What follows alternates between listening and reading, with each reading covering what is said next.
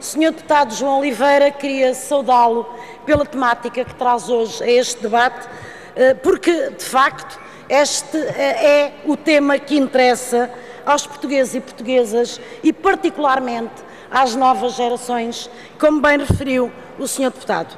Queria dizer-lhe que uh, a bancada do Bloco de Esquerda acompanha todas as alterações à legislação que visem pôr cobro à pouca vergonha que é o trabalho ilegal.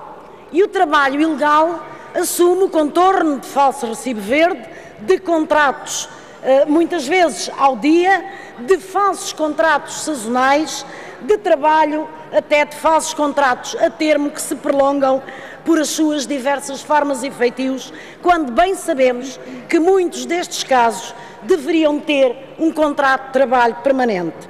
O Sr. Deputado levantou uma questão que achamos que é da maior importância e que alguma legislação ao nível da Europa já contempla.